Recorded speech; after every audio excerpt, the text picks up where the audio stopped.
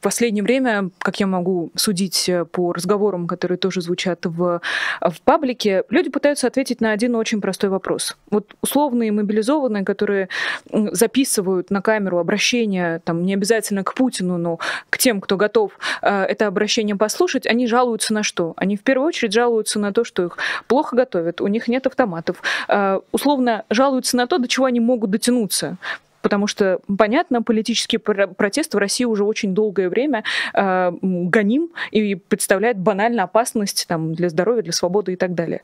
Э, есть две э, позиции, есть два мнения. Люди жалуются на то, что они могут пожаловаться, но глобально у них есть недовольство. И есть те, кто считает, э, что так-то в целом политического недовольства у этих людей нет. Они конкретно, вот банально сейчас жалуются на какие-то бытовые э, условия. Как ты отвечаешь на этот вопрос? Видишь ли ты зарождающийся протест хоть и в такой несколько квази-форме, что ли? Или это действительно буквально вот, э, что называется, на поверхности болтается и э, воюет с очень повседневными, очень простыми, банальными вопросами? Я думаю, что, э, я думаю, что хорошо и то, и другое. Любой протест, любое сопротивление хорошо.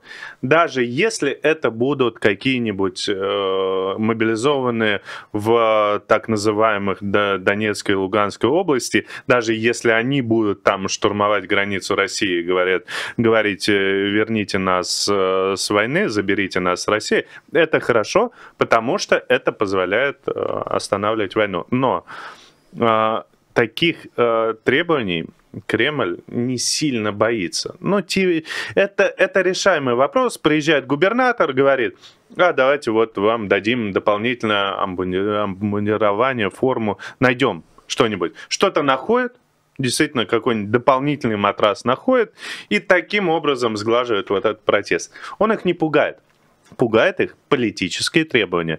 Если вы хотите действительно не, не боитесь выступать с э, политическими требованиями, ваш голос будет, а, вашего голоса они будут бояться гораздо сильнее. Они будут делать все, что угодно, лишь бы вы не заявляли свои политические требования. Мы это видели много раз по различным абсолютно митингам. Они боялись там хабаровских протестов, боялись протестов в Архангельске, потому что там были в том числе и политические требования многие другие протесты они легко подавляли. И поэтому э, какой-то, э, еще раз, хорошо и то, и другое. Если вы считаете, что страшно идти с какими-то требованиями, да, ссылайтесь на то, что вам дали ржавый автомат это все равно останавливает э, от того, что вас сейчас прямо повезут на фронт. Но не удивляйтесь, если вам по почистят автомат, чуть-чуть эту ржавчину э, счистят и дадут чисто и скажут, ну, теперь иди, что ты, что ты жалуешься-то? Ты жаловался, что у тебя ржавый автомат, теперь иди с почищенным автоматом. Такое может случиться, поэтому лучше протестовать с политикой. Это эффективнее и позволит вернуть вас... Ну, э, очень сложно отправлять человека на фронт, который говорит, а я вообще, не знаю, я против войны, я украинец, а другие его э, коллеги говорят, так он, он против, он, как мы с ним пойдем на фронт? Смотри, э, я с тобой сейчас здесь поспорю, и не только потому, что э, подавляющее большинство историй людей, которые отправились на фронт вне зависимости от своего желания, они звучат примерно следующим образом. Э, я не хочу у меня нет желания идти воевать, но что, я не мужик? Я что, прятаться буду? Mm-hmm. Uh, условная история 42-летнего многодетного отца, который работал в МЧС и, по-моему, где-то в Пензенской области, которого мобилизовали, как раз и он погиб в начале ноября. Вот буквально этими же словами его жена пересказывала журналистам позицию uh, «прятаться не буду», условно. Uh, и ты сейчас от людей, которые э, практически всю свою сознательную жизнь не участвовали в политике, просишь политического участия, политического протеста. Как этот политический протест должен э, сформироваться, э, он же не может взяться из ниоткуда. Как помочь этим людям, возможно, сформулировать их требования, какие у них для этого есть ресурсы, есть ли желание в первую очередь? На самом деле, вот э, есть такие телеграм-каналы или, или твиттер-аккаунты, там типа «на слабо» или «подержи мое пиво», типа вот мне... мне Я очень, не знаю таких телеграм-каналов. Очень, очень сильно, ну, где люди совершают какие-то глупости, эта глупость заканчивается очень плачевно. Они там, не знаю, разбегаются, прыгают прыгают с этажа в бассейн и не попадают в этот бассейн. Не повторяйте, пожалуйста, то, что вам так, сейчас э, рассказывает Иван. Так, абсолютно. Так вот, э, из серии «Что я не мужик», это вот прямо из этой же серии. Сделать глупость, совершить преступление, а потом э, погибнуть на фронте. Совершенно аналогичная вещь. Ну, это глупость, которую, которую вбило государство. Я не знаю, образование какое-то, что, что я не мужик. Ну, думать прежде всего нужно своей головой и ценить свою жизнь, а не совершать каких-то ошибок, глупостей, совершенно непонятно за что, совершая преступления на чужой неправильной войне. Это не наша война, это неправильная война, не, не война за защиту Отечества, совершенно очевидная вещь. Что касается э, политических, политических требований, достаточно заразно. Но если кто-то начинает это обсуждать, они же э, внедряют каких-то своих шпионов, каких-то своих агентов, именно чтобы меньше, поменьше обсуждали, поменьше думали, поменьше разговаривали с собой.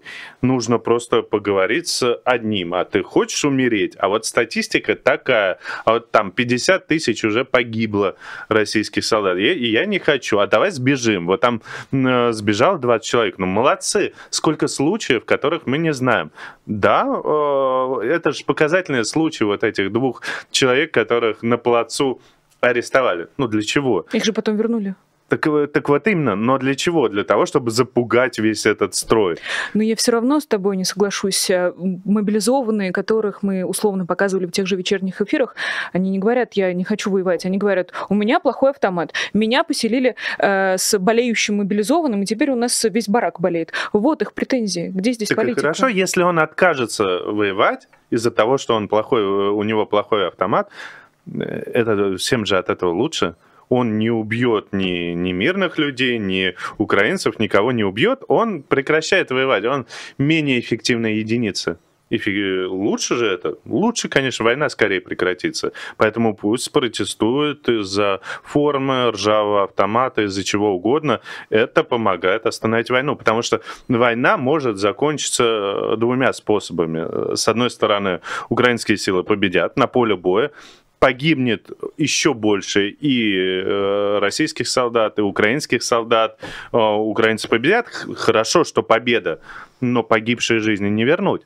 А второй способ – это если армия отказывается воевать неважно по каким причинам. Хорошо, если она откажется воевать, и в, в итоге будет спасено большое количество жизней украинцев, большое количество жизней э, российских солдат. Треть, третий способ – это переворот в России. Еще лучше, потому что еще лучше и сознание, э, и сознание у людей поменяется э, в сторону свободы, в сторону защиты своих прав, и, и жизни сохранятся. Ну вот сегодня бы не не знаю, или Путина табакеркой. Переворот э, то же самое случилось бы это сегодня, ну, война бы завтра прекратилась. Иван, у меня флешбеки, честно говоря, э, и мои флешбеки отсылают меня к нашему с тобой эфиру, который был много-много-много месяцев ага. назад. Примерно в это же время э, была такая большая общественная дискуссия, э, спасет ли смерть Путина ситуацию, вот немедленная смерть, или нужно все-таки, чтобы политическая и,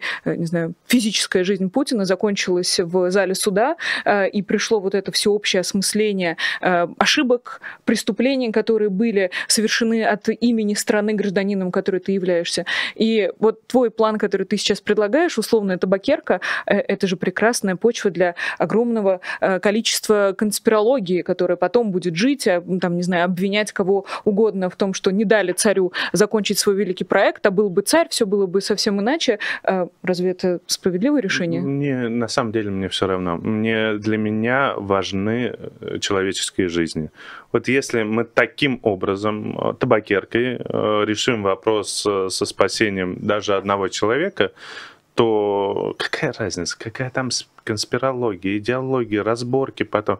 Глобально все равно. Во-первых, и тут же хорошо, и преступник наказан. Ну, да, он, может быть, не прошел эту скамью подсудимых, унижения, и все равно. Но да плевать, если мы сохраним там жизнь кого-то, ребенка, взрослого человека, неважно кого. Вот э, я придерживаюсь этого, этого пути. Если мы можем сделать э, сделать что-то, я не знаю, что, что угодно, э, если мы, если война может остановиться, я уверен, что война остановится, если Путину там физически не будет, если что-то с ним даже произойдет, он исчезнет, улетит на, на другую галактику какую-нибудь. Э, я бы пошел, э, пошел на это ради сохранения жизни, потому что это гораздо важнее, чем, э, чем даже какое-то такое физическое страдание для него. Спасибо, что смотрите нас. Для того, чтобы мы продолжили свою работу, поддержите нас, оформите спонсорство или нажмите кнопку «Спасибо» под этим видео. Внесите свой важный вклад в борьбу с пропагандой и лично Путиным.